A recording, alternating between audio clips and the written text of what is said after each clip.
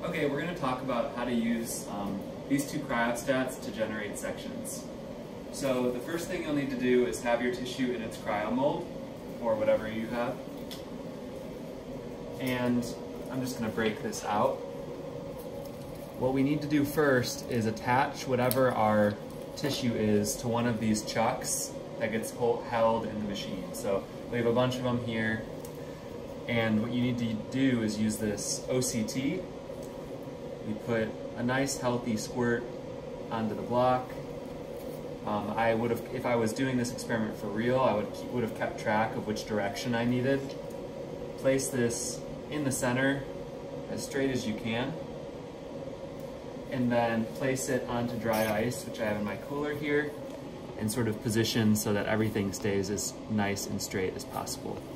Um, this will freeze on the dry ice, and that will take maybe between three and five minutes for that OCT to completely um, sort of harden. It will no longer be um, transparent. It will look like um, a solid ice. And then we'll take this chuck and we'll bring it into the cryostat itself. So you can see here is a sample that I prepped earlier. And the reason I did it earlier is that once you put your sample into the machine, um, you want to let it sit there for about 30 minutes. Uh, if you do not do this, your sections will not come out good, um, and you'll experience problems cutting. So you always, once, this is, if I was running this sample, it's going to freeze for a couple more minutes, bring it over and let it sit for 30 minutes, you're going to get a lot better results. And um, potentially, if you didn't do that, you may not even be able to get sections at all. So once we're inside the machine, there's a couple of things I want to orient to. So you can see I have my paint brushes that I put in here. And also during my sample cooling or warming period, actually, um, I also have my blade inside the machine. So this is all things you would do. Pretend I just prepared this sample. Um, before I go to wait um, 30 minutes, I would maybe put my paintbrushes in and then put this blade in. So to loosen, this lever will be down in this position. Um, and we have to bring this back. And the blade just slides right in from the side. Uh, you want to avoid touching the blade. It's very sharp and also it will dull it. i am only going to tap it at the outer edge just to make sure that it's sitting flat. And then I, I tighten this lever. And I can see somebody has loosened this stage knob that's allowing the stage to move back and forth. So I'm tightening this knob off to the right. However, in general, um, this knob, this knob, and this knob you won't have to touch generally. So that's it. If this is where, if we were prepping a sample, we would wait at this point for 30 minutes. However, I've already done that with the sample that's in here. So we take our sample, which is warmed up to the temperature of the machine, and we come inside. We're going to insert this into the chuck holder. So make this thumb screw, as long as it's turned to the left, this should slide right in. So I have to unscrew it a little bit more. You can see it now is up against the chuck holder. And then I loosely just tighten this thumb screw. You don't need to crank it. Um, it just needs to sort of be finger tightened lightly. At this point, there's another thing you can do, which is you can undo this lever and at that point, this thumb screw now acts as a joystick that allows you to adjust the angle of the sample. And then of course, if you loosen this thumb screw, you can also rotate the sample in this axis. And you just want to get it as straight as possible for whatever you're doing. You can see if I went to cut right now, which we'll talk about how to do that, I would bump, I'm already, um, my sample is already up past the blade. So I actually have to go up onto this control panel and this button that goes sort of away from us, we're just going to hold. Actually, if we hold it for long enough, it'll stay, the light will stay illuminated, and you can see the sample is moving away from the blade. And now we're far enough away that we can sort of get situated here. Let's talk about the locking mechanism. Um, in terms of things that should be kept in mind using these machines, um, the machine must be locked when you are putting your hands in and adjusting the blade or trying to catch a uh, catch a slice or trying to sort of manipulate any part of the machine. The blades are really sharp and there's the potential to get um, a pretty nasty cut. So you always want to make sure the blade is locked so that if you put your hand in, the sample can't move. That entire sample holder won't move on you and push your hand into the blade. So on this one, this knob goes back, this little knob right here goes back when it's locked. So you can see the wheel won't move. And I just bring this forward to allow um, the wheel to move. And when I want it to lock, I kind of, you have to move it up almost into this one o'clock position, two o'clock maybe, and put that knob back to make it lock. Um, sometimes people will almost get it like half locked. They'll come up here, like, oh look, the knob went back. Here especially. And you can see the wheel isn't actually locked here, so that's very dangerous. Make sure it's always all the way back when you lock it, and I like to give it a little test, personally, to make sure. Okay, now we're going to start to look at sectioning. So, you can come into the machine, and we kind of want to get our sample relatively close to the blade. Um, otherwise, you're going to be just be moving the wheel a long time trying to advance the stage to the right point. So we can use this arrow, the one that's going towards us. What I like to do is I just like to bring it until visually it starts to get close to the blade. Right, so it's getting very close here. Now we sort of can start working. So um, I'm again going to check to make sure everything is nice and straight. At this point, I'm also going to take a Kim wipe and a little bit of ethanol and make sure that the stage is really clean. So this is another part where you have to be very careful because you're putting your hand near the blade. When you wipe the stage off with ethanol, um, make sure that you don't run your finger across the blades. It sounds simple, but um, I've almost done it multiple times before, and many people who use these machines cut themselves this way. You also want to look at this glass plate, and you want this to be very clean. So eventually this is going to be what's trapping your sections and helping them lie flat. And if it is not clean, either this or the stage, um, your samples will tear. So I'm drying this off now.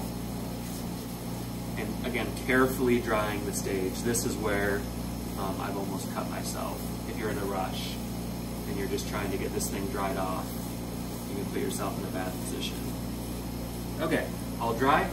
Now, it's going to be hard to see on the video, but this plate is actually not perfectly symmetrical. So the edge that is up right now, again, I don't know if you can see, there's a small lip on both sides. That lip, when we go into the machine, is going to stay up so that the side with the lip is facing this way. It's not facing down towards the plastic. I put the lip up so that when this closes, the side that has the lip is down towards the stage. You can picture it's like there's a little, just a little carve out that your um, sections can fit into. Do it the other way, they won't sit as flat. Okay. At this point, we can start sectioning. So we want to start by just getting to our tissue. There's a lot of OCT and stuff in the way. So we want to start with thicker sections. So what we do is we go to this button right here um, that has the double arrow and we hold this button and you can see that we just switched our light from section thickness to now there's a light on by trim thickness. So trimming is what we're going to do to take th thicker sections. We can hit the arrows. I'm going to go to like 100 or 150 just to carve off the excess OCT and get to our actual sample. So here Again, we're not quite to our sample yet. I can advance the sample. You can see I'm trying to cut. And it might take a second to sort of catch onto the sample, but every time you turn the wheel, the sample is going to be advanced slightly towards the blade. So, and then this is where you can start to make adjustments. So this is going to be hard to see. If I get my paintbrush, and see I have, I'm starting to get cutting over here, but not here. So that tells me that my sample is actually angled slightly. So I'm not going to belabor this too much because this is going to depend a lot on how your sample is mounted. But I'm, you can just, again, loosen this lever and use the thumb screw as a joystick to just slightly change the angle of our sample so that now hopefully when we cut, at first that's going to be how it was. Now we're getting a nice, pretty even band of slice coming across. We're not going to be cutting at an angle through our entire block. So at this point, I basically, I would maybe sweat it a little bit more if I was taking real sections, but that's straight enough for me. And we're just going to advance through. You can see I'm going pretty fast and I'm not facing much resistance. I just switched up to 250 micron thickness sections just to shave off this block. And you can start to see some darkness um, appear where we're actually starting to get into the sample itself. Now you can start to see the brain tissue poking out. Um, again, I'm locking the wheel before I sort of clean this up. I don't want um, my hand to get bumped into the blade if this thing moves. Um, I, you can also, there is a light here if you prefer. Um, I, I find the glare to be annoying, but some people prefer to have the light. Um, and I'm just going to do that so you can see this more clearly on the camera. We're going to switch to taking actual sections now. So we go back to this double arrow, and if we just tap this button, if you watch this light, it switches up to the section thickness. So now we're able to take between 1 and 20 micron sections as opposed to 10 and 500. So these are the more coarse, this is the more fine sectioning. So you could, for example, set this to like 20 and we go back, note the first section you take is going to be at whatever thickness was set last, so this is going to be another 250 micron section. But after this point, you can see that these sections are going to start coming off thinner. So I can put this glass plate down, and I want to apply, I'm going to turn this off, I think the glare might get you off the light. Slow, even pressure will push the slice under the glass plate, and then we can lock this, open our glass plate, I lost my section. You can use your paintbrush, and this section now we can either put onto a slide or if you get this paintbrush wet, you can pick it up and put it into a multi-well plate, like a 24 well plate. If you were going to put it on a slide, you would want to do everything you can to minimize the curling of this section, like opening it up with a paintbrush. The thinner the section, the harder it will be to keep it from rolling on itself. You can kind of open it up, and there's sort of a finesse to it, but you can make an attempt to make it open, and you literally just press the top of your slide. You can see that these sections like to get to anything that are hotter than them, so that this paintbrush had warmed from the air a little bit, and the slice just sticks right to it. So the same thing will happen to the glass of your slide. Um, it will just stick right on there. So let's just take a few more sections. So again, when I'm doing this, you can just watch my hand. It's really important that we don't use a jerking motion to get the sample into the block. You don't want to smash the block into the blade. I just slowly approach and provide really even, consistent pressure until my section is taken. And you can see what I got on the stage is nice and flat. If I go really fast, you may get lucky, but depending on how pesky your sample is or how delicate it is, you may tear your section apart or cause other issues. Okay, at this point I'd just like to reemphasize, you want to keep this glass plate really clean. So if it gets, if anything gets wet, like if you have buffer on your paintbrush and it starts to freeze or you get gunk on this glass or on the blade or the stage, you may run into issues where your sections start to not be good quality and you'll want to again take ethanol and clean off the stage, clean off the glass plate, make sure the glass plate goes back in the correct orientation again with those, the small lip, the small um, part that's sort of raised above the rest so that when you close the glass plate, those raised edges should be going down towards the stage. This will all help you get better sections. I'll also note if you're looking to take thicker sections, thicker than um, like 10 microns or 20 microns, you can actually use this, these trimming thicknesses to take real sections. So when I take brain sections, I usually take them at 40 or 50 microns. So I actually never use this section thickness. I, again, you can hold this to make it go back to trim. And I would just lower this from like if I was trimming at 200, I can lower this down to 50. Again, whatever slice you take will always be at the last setting. So this will be at, this will be at, um, that was a thicker section. But then now that it is sort of set properly, the next section will be at 50. Sometimes the first one you get will be a little messy, that's okay. Just clean that off. As you sort of get into that new thickness, you'll find maybe after the first section that you're able to start getting good ones at the new thickness, okay? So again, you can use trimming, this trimming setting to either shave your block or to take thicker sections like I do for a lot of immunohistochemistry or especially for um, cells, a lot of people in tumors, a lot of people will take thinner sections. So if you tap this double arrow button, we'll move to the section thickness.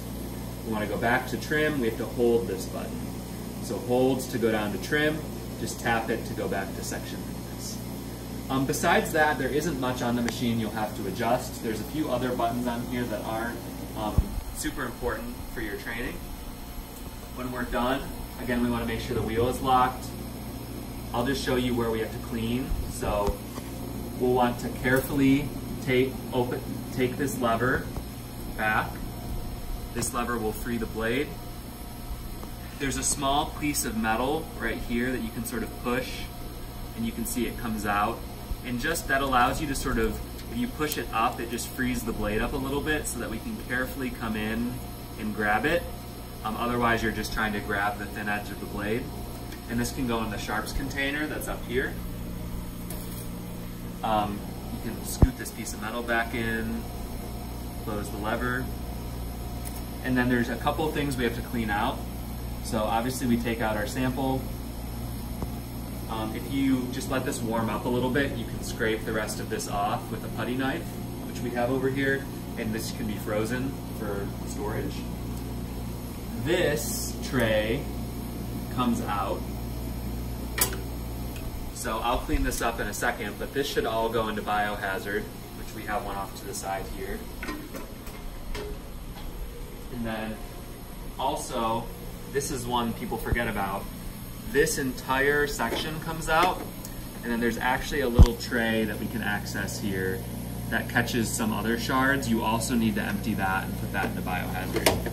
You will make sure there's no excess sections around the edges, clean off the stage really nicely. Um, you can clean off the glass plate. And when you're done, we also have this little vacuum cleaner here if you want to sort of, if the ethanol and the Kim wipe aren't helping you get the last few bits of your sections, you can take that little mini vacuum and vacuum out the, the rest of your fragments. Close the sash when you're done. Do not leave it open. Make sure to turn the light off um, to prevent extra condensation and heat inside the machine. I'll just reference a couple important controls on this cryostat. The most important thing is the wheel lock. So if you come over here, you can see um, this one doesn't have a physical lock. Just it will, it's sort of hard to move the knob when it's locked. It has a lot of resistance. But when you press this lever and you press the, the right side of it, now this lever moves very freely. So that's essentially your lock. If we hit this left option, you can see that now this we're hitting resistance again. It's possible to move it, but not easy. In here, again, we have a similar glass plate setup. You're going to want to make sure that this stage and this glass plate are very clean. This orange lever will allow you to do a similar thing in terms of inserting your blade. And then a lot of these other knobs are stage adjustment knobs that you won't need. Um, this one on the left and this one on the right. Um, the orange knob and this gray knob are what you're going to need mostly. And then the only other thing I'll mention is we have a similar design. This thumb screw, you can loosen it to put your sample in. You have a lever here that loosens that allows us to sort of move this like a joystick to set the angle, tighten everything loosely, and if anything doesn't move easily on these machines, contact us there's a QR code to fill out a maintenance form um, and make sure that um, you're not forcing or breaking anything. There should not be much resistance from any levers on this machine. For example, if this isn't moving, you're like, wow, this has a lot of resistance.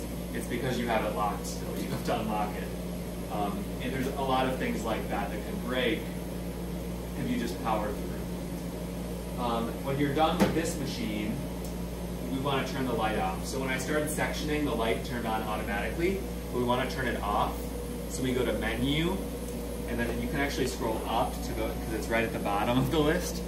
Um, we go to illumination, hit this down arrow, go down to turn this off. You can see the light turned off. We have menu to exit. Um, and then the only other thing to mention is when you're sectioning the controls, you have um, this button where it sort of has the thick wedge and the thin wedge allows you to switch between fine and trim mode. And then these arrows allow you to change the thickness that's here. Inside the machine, similar setup, we have these two arrows that allow us to bring the stage or the chuck holder towards the stage or away from the stage. Remember to close the sash when you're done.